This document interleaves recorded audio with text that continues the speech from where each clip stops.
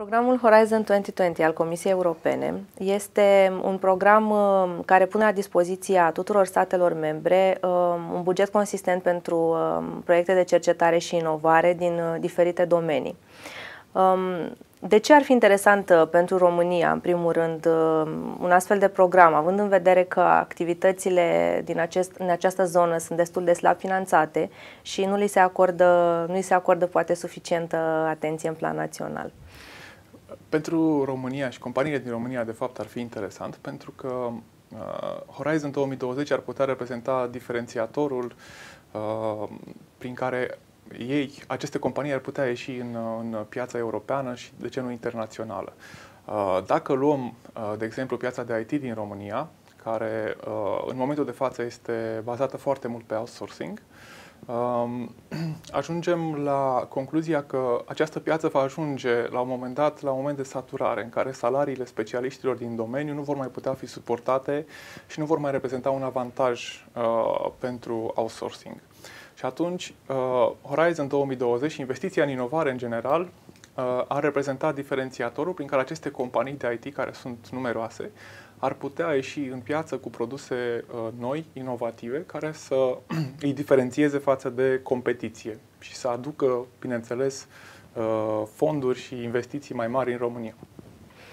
Pentru că ați menționat uh, uh, companiile și uh, ce anume ar putea face ele, uh, să încercăm să explicăm puțin ce fel de companii uh, pot într-adevăr să intre în aceste proiecte, în ce formulă ar putea, ar putea participa și depune proiecte uh, și dacă există anumite domenii care sunt mai, uh, ar, mai des, ar, ar avea mai mult succes, să spunem.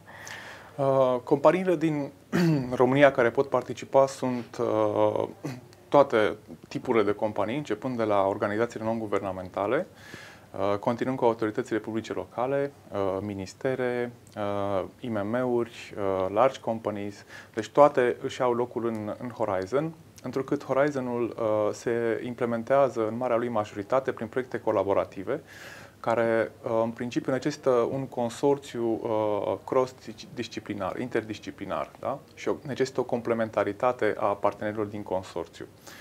Uh, astfel, uh, orice companie uh, este, ar trebui să fie interesată de participarea în Horizon și își poate găsi locul fără nicio problemă în cadrul programului, în consorțiile programului Horizon 2020. Ca domenii?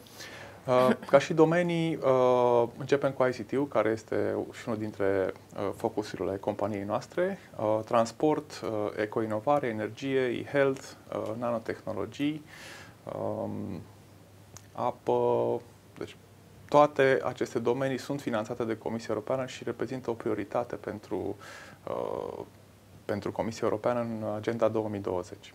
Care ar fi, uh, din experiența dumneavoastră, primele condiții pe care o firmă ar trebui să le îndeplinească în momentul în care se gândește să, să, să dezvolte un astfel de proiect?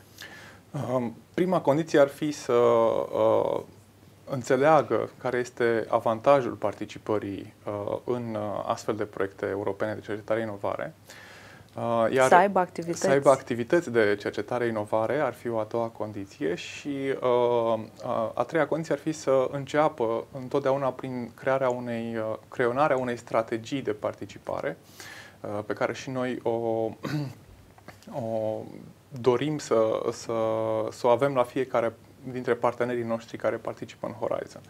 Această strategie, în principiu, implică uh, o analiză a propriilor competențe pe partea de cercetare-inovare, o analiză a programelor Comisiei Europene uh, și a apelurilor care vor fi lansate uh, și apoi crearea parteneriatelor uh, care sunt necesare uh, implementării Horizon 2020 că crearea unei, unei rețele de networking la nivel european, participarea la evenimente, prin care uh, participarea proactivă la evenimente, uh, acestea sunt, uh, ar fi condițiile minimale pe care o companie ar trebui să, să le îndeplinească pentru a participa cu succes la programul de cercetare inovare.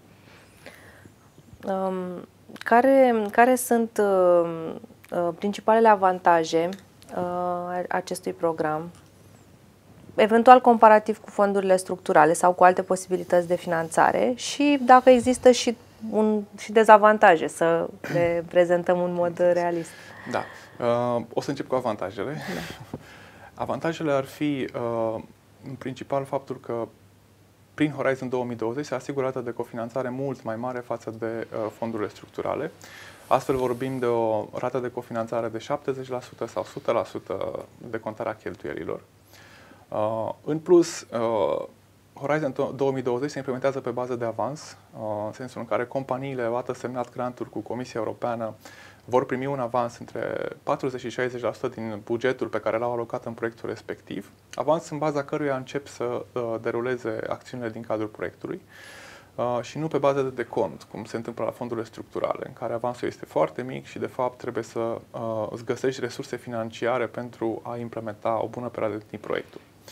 Um, al treilea avantaj ar fi uh, predictibilitatea. Apelurile din cadrul Horizon 2020 uh, sunt publicate în principiu cu 2 ani înainte.